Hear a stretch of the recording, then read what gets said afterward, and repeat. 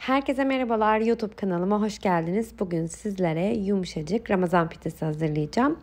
Hiç bekletmeden hemen tarife geçiyorum. 2 su bardağı su, 1 paket instant maya ve 3,5-4 su bardağına yakın un var mayalama kabımın içerisinde.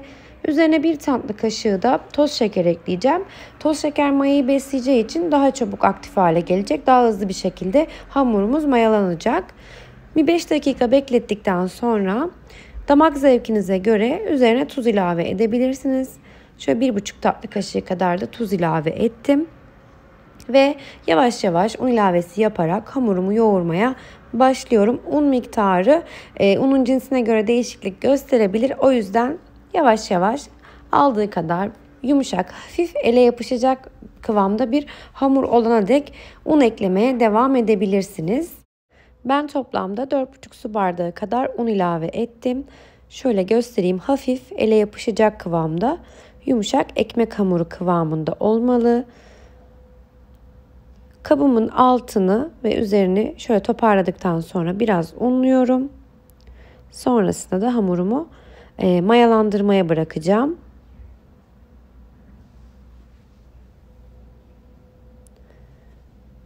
Gördüğünüz gibi hamurumuz hazır. Üzerini streç filmle kapatıyorum. Yaklaşık 50 dakika kadar e, ılık bir ortamda mayalandırıyorum. İki kez mayalandırma işlemi yapacağız. Yaklaşık 50 dakika sonra hamurumuz çok güzel bir şekilde mayalanmış. Hemen şöyle havasını alarak tezgahta birkaç kez daha yoğurduktan sonra iki eşit parçaya ayırıyorum. Bu hamurla toplamda iki tane e, pide elde edebilirsiniz. Orta boylarda. Hamurun kıvamı da çok güzel olmuş gördüğünüz gibi. Hamurumu hemen şöyle iki eşit parçaya ayırıyorum. Göz kararı el yordamıyla ayarlayabilirsiniz. Güzelce bezelerimi toparlıyorum. Yüz yuvarlak bir e, hamur yaparsanız daha güzel olacaktır. E, bu işlemi yaparken un ilavesi yapmıyorum. Hamurun dokusunu bozmamak için hafif ele yapışıyor olması gerekiyor. Yumuşak olması için pidelerin. Bezeleri hazırladıktan sonra direkt tepside mayalandıracağım. E, o kabarmış olan görüntüsünün e, bozulmaması için Altına da kepekli un serpiyorum. Yoksa mısır unu da serpebilirsiniz. Altının tıpkı fırındaki e, pideler gibi olması için. E, evde vardı. Kepek unu ben serptim.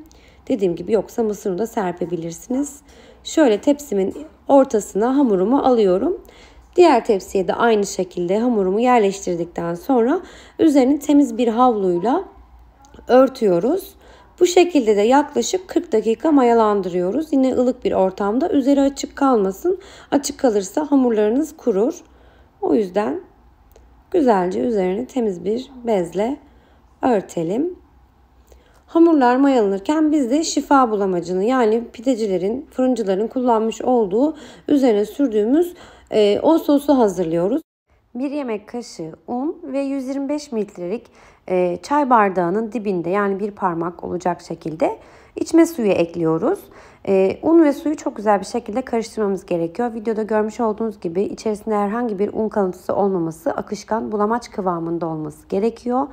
Yine aynı bardakla üzerine bir çay bardağı kaynar su ilave ediyoruz. Ee, yine sürekli karıştırıyoruz. Unu güzelce karıştırdıktan sonra soğumaya bırakacağız. E, bu üzerine süreceğimiz sosun e, soğuk olması gerekiyor. E, yumurta kullanmak istemeyenler sadece bu suyla e, bu bulamaçla hazırlayabilirsiniz. Bu arada hamurum da dinlendi. Yaklaşık 30-40 dakika civarında mayalandırdım. Tepsinin içerisinde de dediğim gibi mayalandırırsanız e, hamurun o kabarmış olan görüntüsünü bozmamış olursunuz. Şöyle elimle üzerini bu sosla güzelce buluyorum. İlk yaptığım pidenin hiç açmadan direkt e, gördüğünüz gibi elimle şekil vererek dilimlerin daha e, büyük ve derin olmasını sağlamak için elimle açtırmadım. Şöyle gördüğünüz gibi tırnaklarla keserek hamurumu büyüttüm.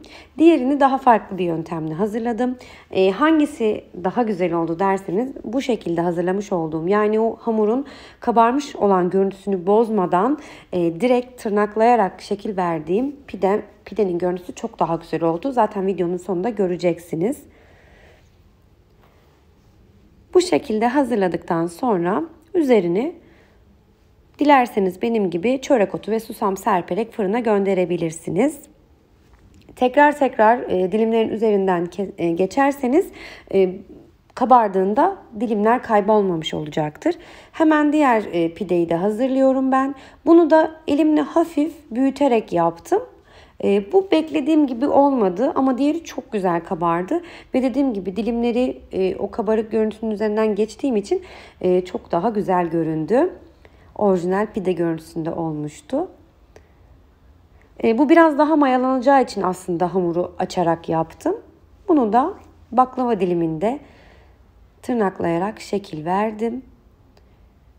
Dilimlerin keskin olması için de elimi her seferinde birazcık bulamaca buluyorum. Bu arada isterseniz yumurtalı isterseniz de e, bu sosun içerisine bir tane yumurta sarısı ilave edebilirsiniz. Yumurta kokusunu sevmeyenler için e, yumurtasız pide tercih edenler için de e, bu sosla direkt pişirebilirsiniz.